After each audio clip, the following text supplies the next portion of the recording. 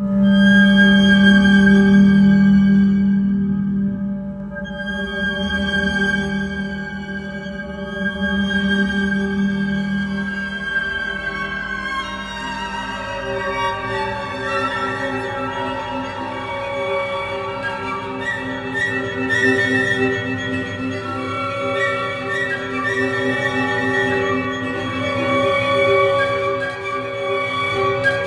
joue une pièce que euh, Light and Matter pour, pour euh, trio avec piano, qui, est euh, création française, je crois. Ça, c'est une pièce déjà, que, j'ai déjà jouée aux États-Unis, en Allemagne, que, qui date d'il y a 2-3 ans. J'ai pas pu faire justement la, création de cette pièce aux États-Unis parce que ça se passait au même moment que, que la même semaine que, que de ma mariage de ma fille et j'étais en train de jouer Offrande.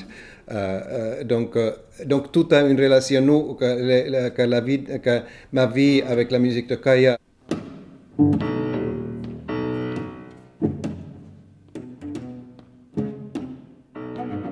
J'ai appelé ça Freezing Fields, ça veut dire les, champs gelés glacés ou recouverts de glace. Et je, c'est trois mouvements pour violoncelle et piano que j'imagine un peu comme des paysages personnels quelque part, euh, comme ça à des choses glacées, à des, à des fumées. Euh, euh, donc c'était un peu cet univers-là visuel qui m'a guidé. Après, au bout d'un moment, la musique emporte loin des, des, images personnelles. Il y a beaucoup de sons très suggestifs. Je dirais pas de rupture dans, dans le cas, dans la façon que qu'utilise que, Jérôme toutes ces choses euh, techniques nouvelles à l'intérieur, soit à l'intérieur du piano, soit euh, la manière de frapper le violoncelle, frapper les cordes avec le bois, avec la main, euh, avec le bois de, l'archet. C'est une musique que j'ai essayé de faire très contrastée, avec d'une part des choses très gestuelles, très, très, très fortes, très gestuelles, très impactes, comme des, bruits sourds, très bois, d'une sorte de, qualité comme ça de bois. Et puis euh, des choses au contraire, euh, des petites incises mélodiques, euh, des choses extrêmement rapides comme des mélismes insaisissables, joués pianissimo comme ça. Et en fait, chaque, ce que je viens de décrire, chaque, chaque élément comme ça a un tempo très précis à lui. Il y a une couleur du silence, du, du, soufflement, du, des bruits de, la nature, et puis il y a des, il y a des sons, sons plus j'allais dire que violent, mais, mais je c'est pas c'est pas le mot juste. Et puis il y a des passages très rapides euh, entre les deux, instruments, mais où la rapidité ne veut pas dire euh, c'est une rapidité qui est, qui est comme de nouveau comme un souffle. Donc c'est comme si 4-5 euh, musiques, 5 musiques cohabitaient à l'intérieur même d'une seule et même musique, elle-même divisée en trois.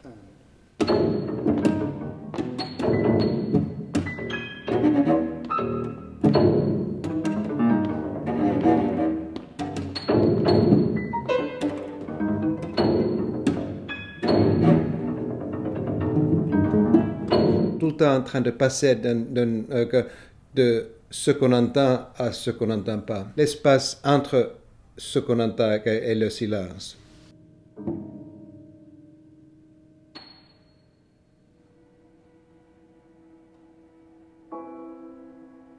Non, elle fait pas rupture, euh, elle prolonge, effectivement.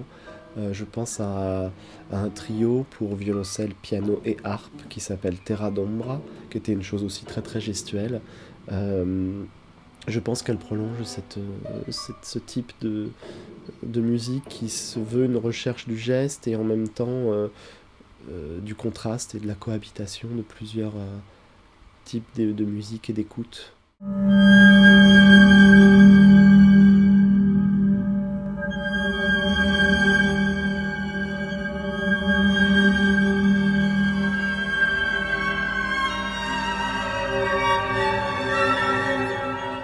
Février, on va jouer deux œuvres vocales euh, qui font partie, enfin, qui composent un diptyque autour de la poésie d'Edmond Jabès. C'est un diptyque qui a été créé entre 2013 et 2015.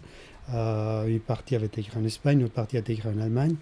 Et c'est un diptyque, enfin un ensemble qui est pour moi particulièrement important, auquel je tiens beaucoup, qui fait une cinquantaine de, minutes. Main sur plomb est la première pièce, pour voix, une seule voix, un mezzo et puis un ensemble de sept instruments.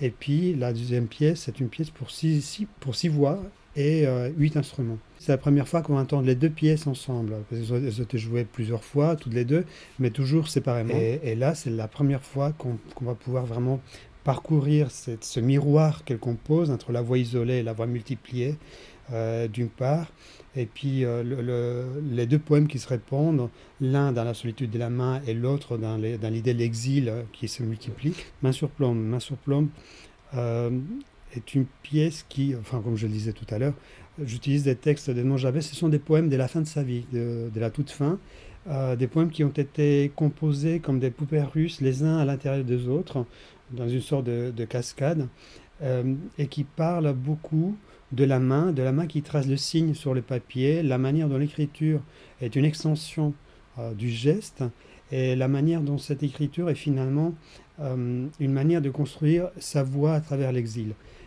c'est ça qui m'intéressait vraiment beaucoup dans, ces poèmes. Ces poèmes ont été édités pour la première fois avec des dessins de Eduardo Chilida, qui était un, sculpteur, euh, euh, un artiste euh, du Pays Basque, de Saint-Sébastien, même ville que moi, qui a vécu, et dont l'œuvre est universelle. Enfin, on la connaît pour la, dans la plupart des endroits comme l'une des œuvres vraiment saisissantes et déterminantes au XXe siècle. Et cette manière qu'il a eu d'illustrer justement cette extension de la main à travers ses dessins a été aussi pour moi quelque part un détonateur.